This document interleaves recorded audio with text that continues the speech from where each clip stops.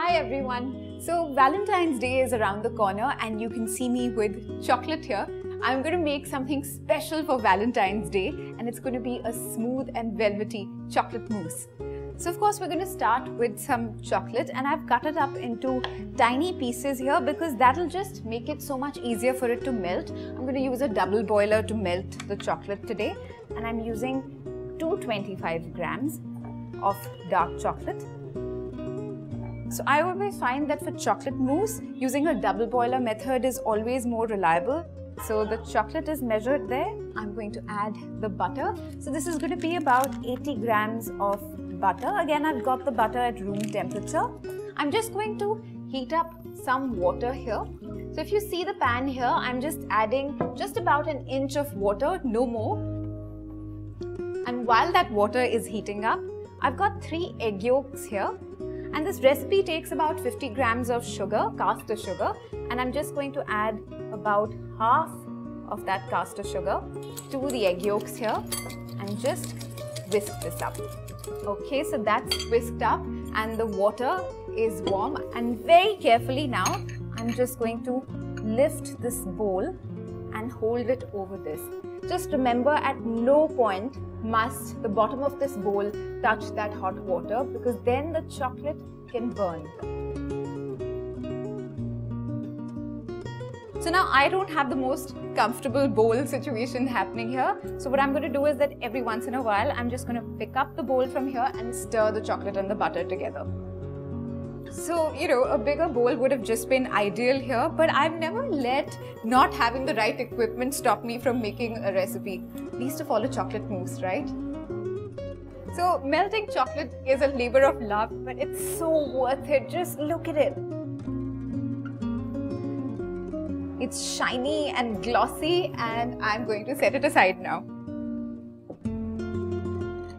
And now I'm going to move very quickly these are the egg yolks that I had whisked earlier. I'm going to add a tablespoon of cocoa powder. And now this is not going to whisk very evenly because it's not warm. I'm going to place it over this bowl, again over the double boiler, and constantly whisk this because I want it to thicken but not cook. I don't want scrambled eggs. Okay, so this is done now. It's thickened. And don't even stop whisking for a second. Take this off the heat. And while you're whisking this, just add this and continue whisking.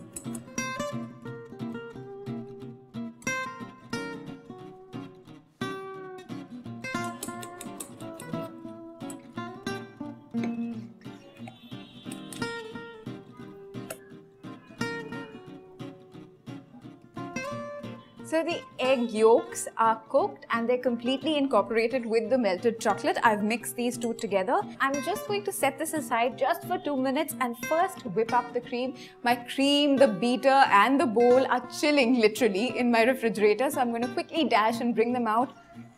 I'm going to start whipping the cream now.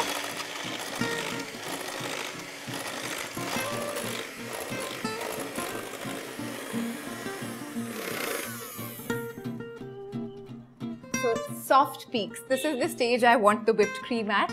And I'm just to leave it in the refrigerator again, covered and chilled till I have to use it again now. And what am I going to do in the meantime? I'm going to beat the egg whites to stiff peaks. So beating egg whites is a tough workout, but luckily for me, I'm using an electric whisk. I'm not going to do it manually completely. Start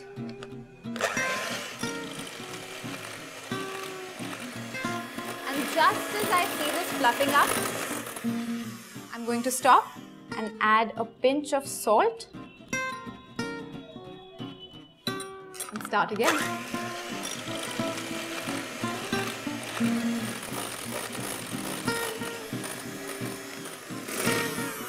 So you remember the other half of the caster sugar that we had left? I'm just going to add it in batches to this and continue whisking.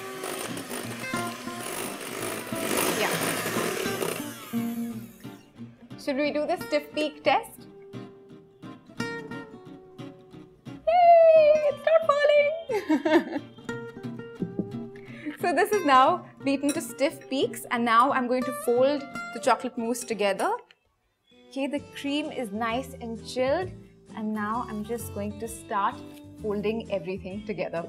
I'm going to start with the egg whites but I'm going to do this in batches. Wow, just look at that. So tempting to eat it like this but don't, just hold on. It's going to be amazing in just a minute or so. Just fold this in and when you're folding the egg whites or even the whipped cream, just always remember, do this in one direction. Otherwise, we're just going to end up losing all the air that we've worked so hard to beat into both of these things. And now for the rest of the egg whites.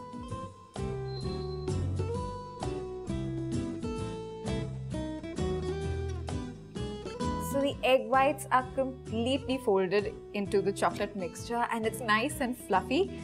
Now I'm going to start folding in the whipped cream, but I'm only going to use about 3 fourths of it. The rest I'm going to save for the garnish.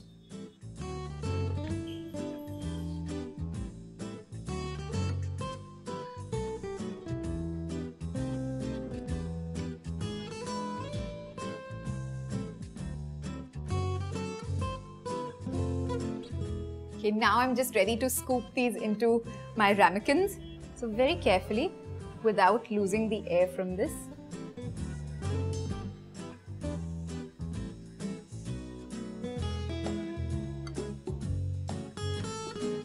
I don't believe in any small helpings of chocolate mousse. Not when I've worked this hard to make it.